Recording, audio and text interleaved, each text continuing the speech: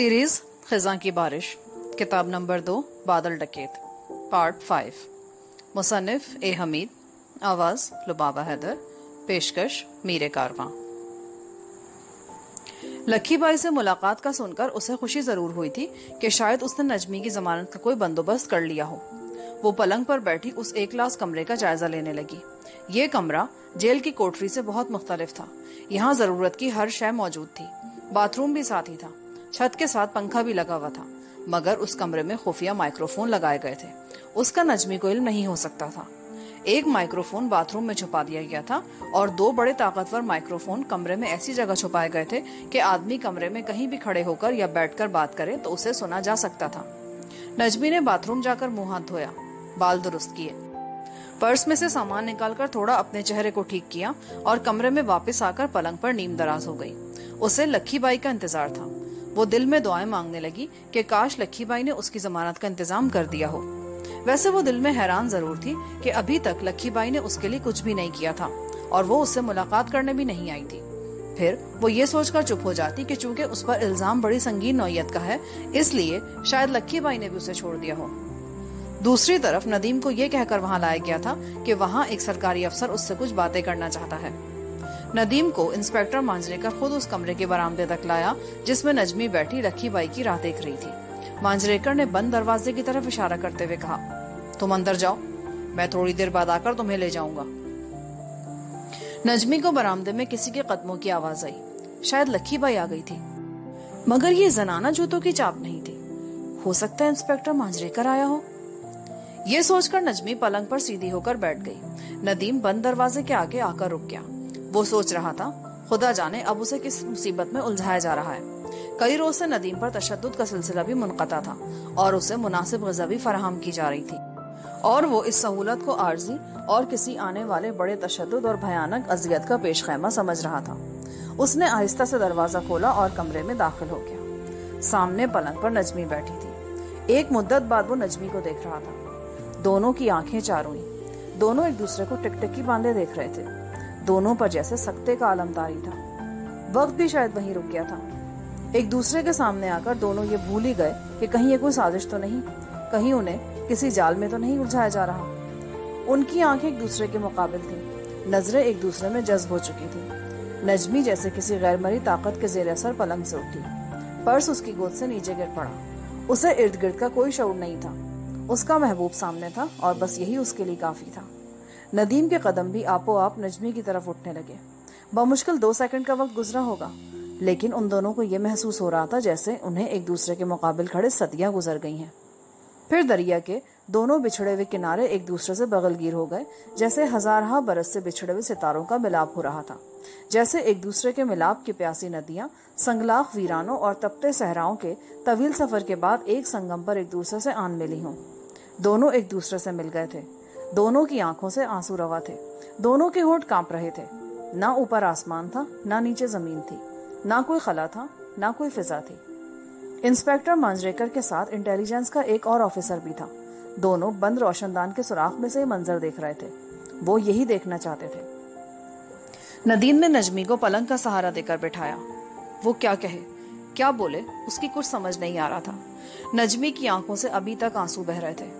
नदीम ने नजमी के आँसू पोछते हुए कहा, मुझे माफ़ कर दो नजमी, मैं तुम्हारा गुनागार हूँ। एक अरसे के बाद नजमी ने नदीम की आवाज़ सुनी। वो अपने तमाम जख्म भूल गई थी। नदीम की शीरी आवाज़, उसके महबूब की आवाज़ थी। उसने नदीम का हाथ थाम लिया और उसकी तरफ़ आंसुओं भरी पलके उठाकर बोली, नदीम, तुम कहाँ थे?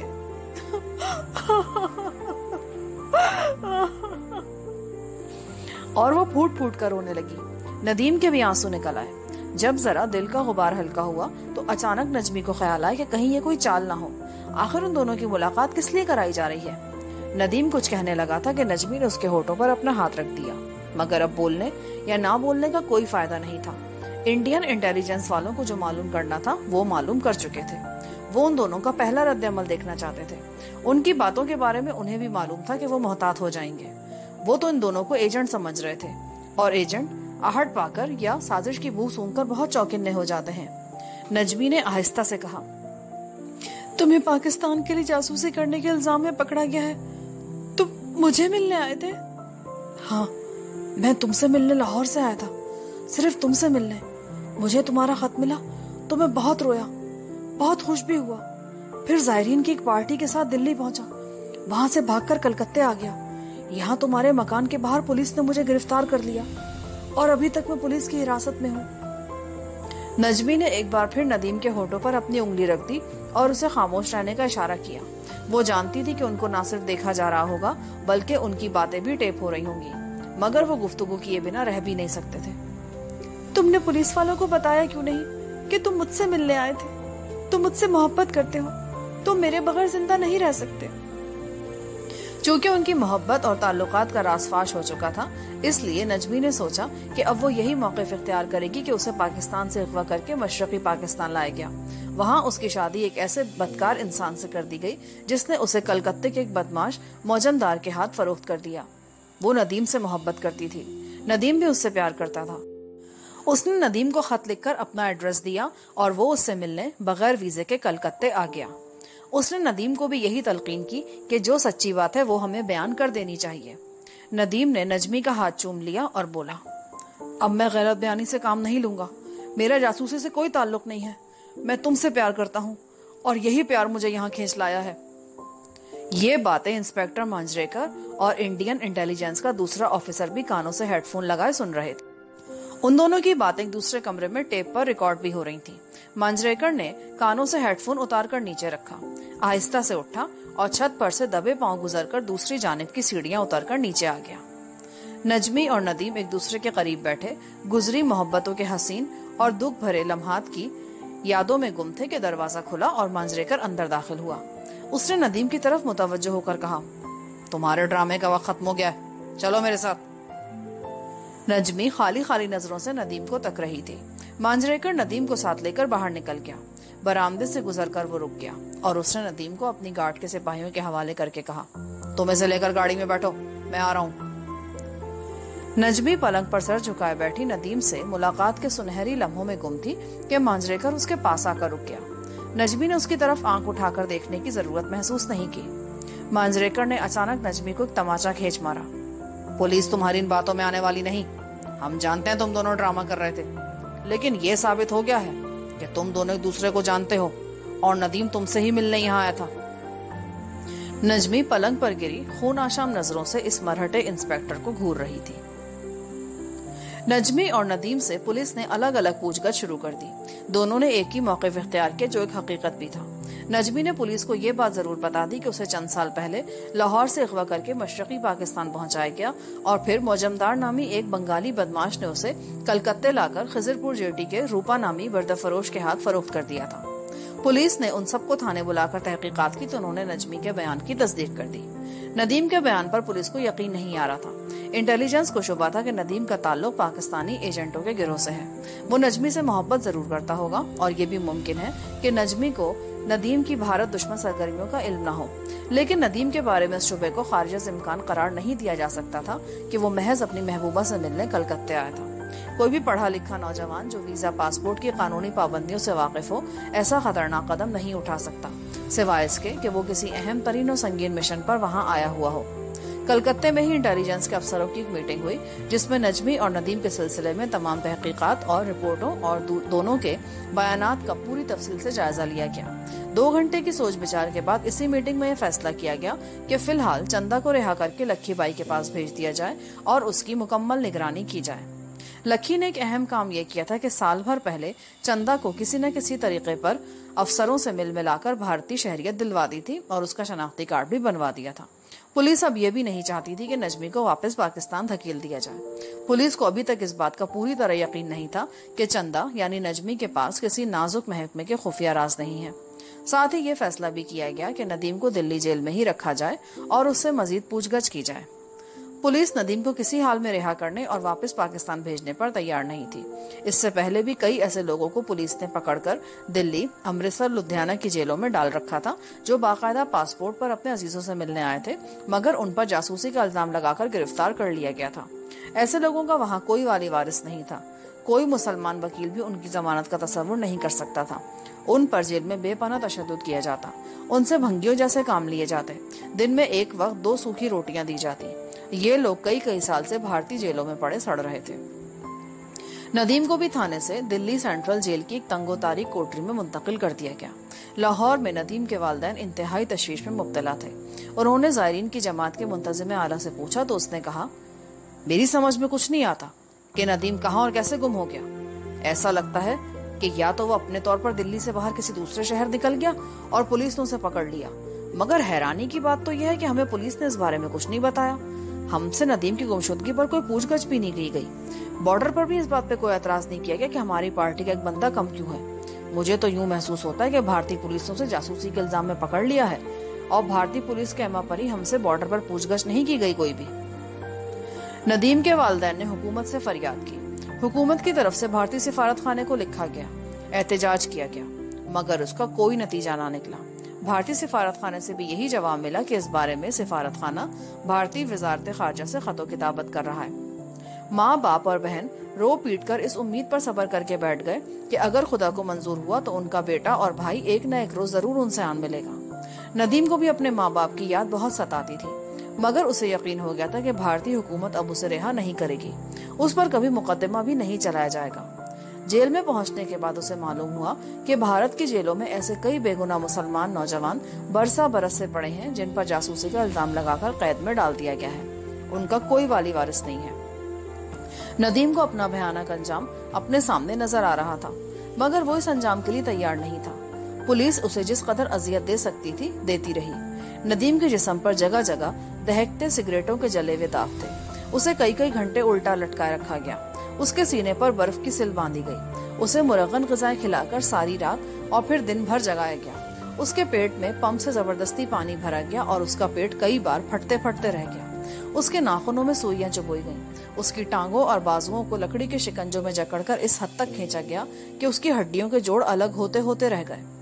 नदीम ने तमाम अजियतों को बर्दाश्त कर लिया। सारा तशद सह लिया, लेकिन उसने एक बार भी इस इल्ज़ाम को तस्लीम ना किया कि वो पाकिस्तानी जासूस है।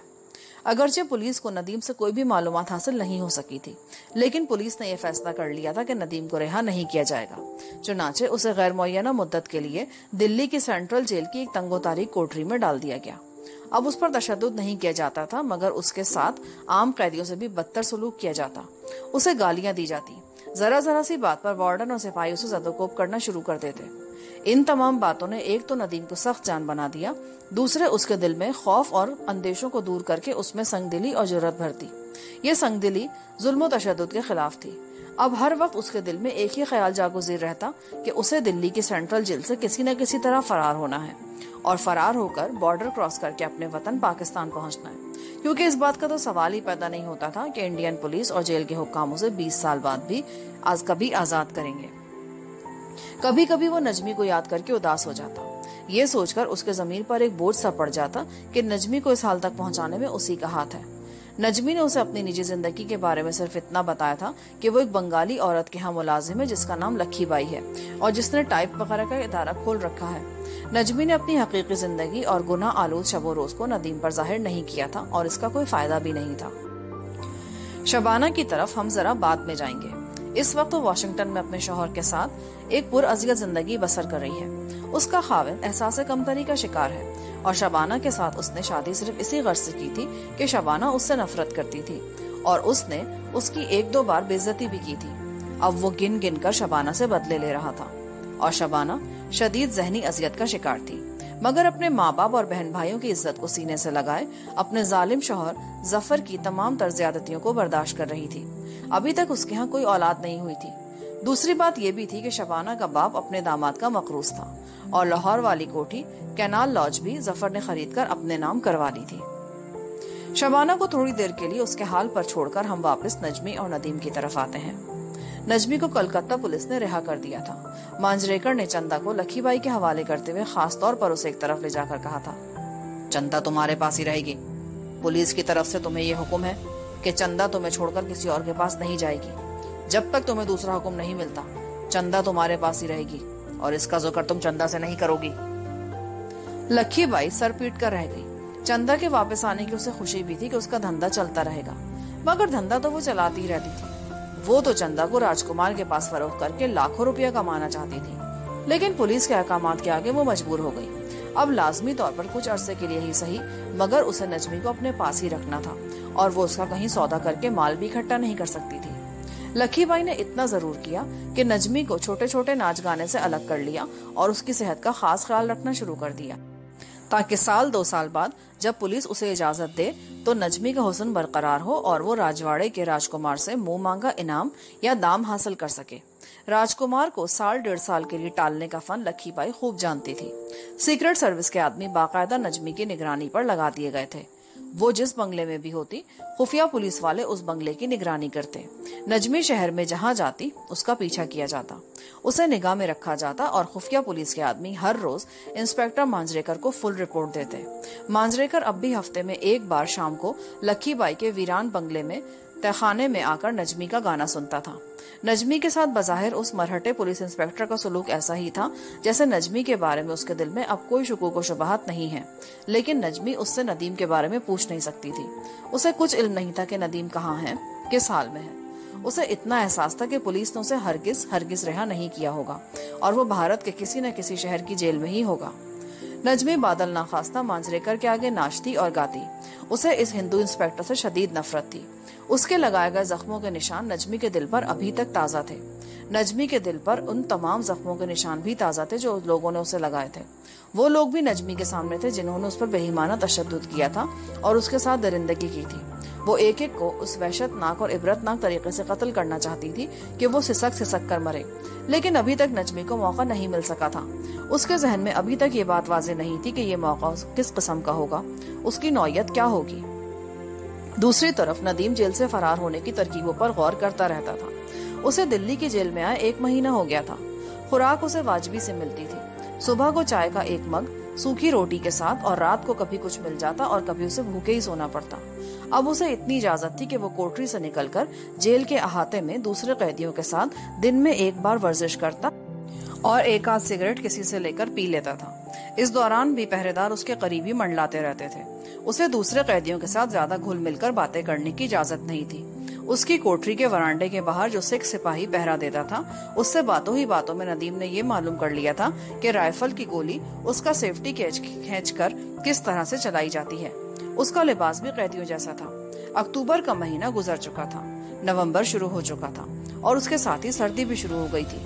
रात को नदीम मैला कुचैला कंबल ओढ़कर, फटे हुए कंबल पर ही पड़कर सो जाता। उसे मच्छर और खटमल भी बहुत परेशान करते थे। मगर आहिस्ता आहिस्ता वो इन तकलीफों का आदि बन गया था। दिन के वक्त जब उसे वर्जिश के लिए अहाते में लाया जाता तो वो कनखियों से जेल की दीवार का बार बार जायजा लेता। ये दीवार कच्ची थी, मगर काफ़ी ऊँची थी, और सीढ़ी के बगैर उसको फलांगना नामुमकिन था। नदीम ने दीवार को फांदने के सिलसिले में बहुत गौर फ़िक्र किया, लेकिन उसे कोई रास्ता नज़र नहीं आया। कोई तरकीब सुझाई नहीं थी वो दूसरे तरीकों पर गौर करने लगा। कोई दूसरा तरीका भी उसके जहन में नहीं आ रहा था। सिवाय उसे वर्जिश के औकात के बाकी किसी वक्त भी अपनी तंगो तारी कोठरी से निकलने की इजाज़त नहीं थी। ये फांसी की कोठरी थी और उससे आगे एक छोटा सा वरांडा था, जिसके दोनों जानब लोहे के सलाखदार दरवाजे लगे थे। जेल में ज़्यादातर सिख कैदी थे, जो दिन भर शोर मचाते रहते थे। कुछ हिंदू मुसलमान कैदी भी थे, जो मुख्तलिफ़ जराइम की पादाश में मिली हुई सजाएँ काट रहे थे। नवंबर का महीना भी गुजर गया। दिसंबर में दिल्ली में कड़ाके की सर्दी पड़ने लगी। अब नदीम को दिन के वक्त थोड़ी देर के लिए धूप में भी लाया जाने लगा। सूरत शनासाई तो सभी कैदियों से रही, लेकिन फकीरिया नामी दिल्ली के एक मुसलमान कैदी से नदीम की अक्सर गुफ्तगु हुआ करती। ऐसा लगता था कि पुलिस वाले नदीम को भूल गए हैं, या फिर उसे हमेशा के लिए जेल में डाल दिया गया है कि एक रोज यहीं मर खप जाएगा। जिस तरह के नदीम को एक कैदी की जुबानी मालूम हुआ था कि जो नाम नेहाद पाकिस्तानी जासूस मर जाता है, उसे वहीं गड़ा खोद कर दबा दिया जाता है, और फिर लोग उसका नाम भी भूल जाते हैं। शायद इस वजह से अब नदीम की जेल के अंदर कड़ी निगरानी नहीं होती थी। दिल्ली का फकीरिया नाम का कैदी जवान आदमी था, जिसम दुबला पतला था। उसका ताल्लुक दिल्ली के एक जराइम पेशा गिरोह से था। उसने दुश्मनी में आकर एक आदमी का खून किया था और जेल में दस बरस की कैद काट रहा था। उसे जेल में आए सात बरस गुजर चुके थे। वो बड़ा हंसमुख था और कैदियों से लेकर जेल के पहरेदारों और सिपाहियों तक से हल्का फुल्का मज़ाक कर लिया करता था।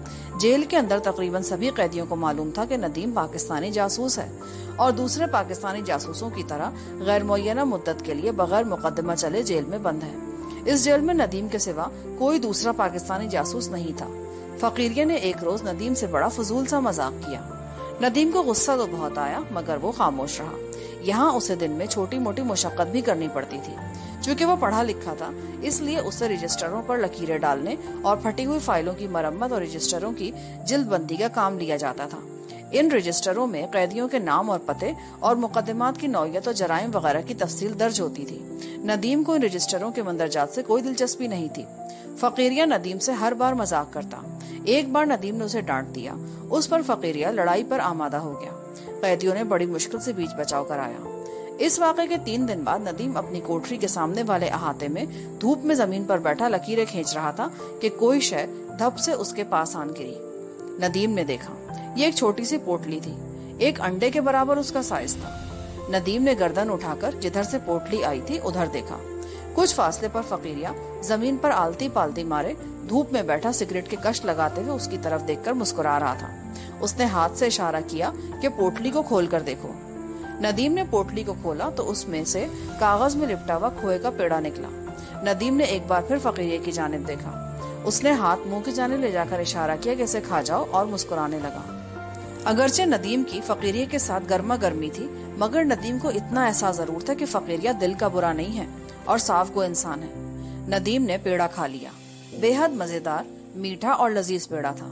नदीम ने हाथ माथे के करीब ले जाकर फकीरिये का शुक्रिया अदा किया। फकीरिया ने मुस्कुराते हुए मुँह दूसरी तरफ़ कर लिया। यहाँ पर पार्ट फाइव का अख्ताम होता है। आगे कहानी सुनने के लिए पार्ट सिक्स समाप्त फरमाएँ।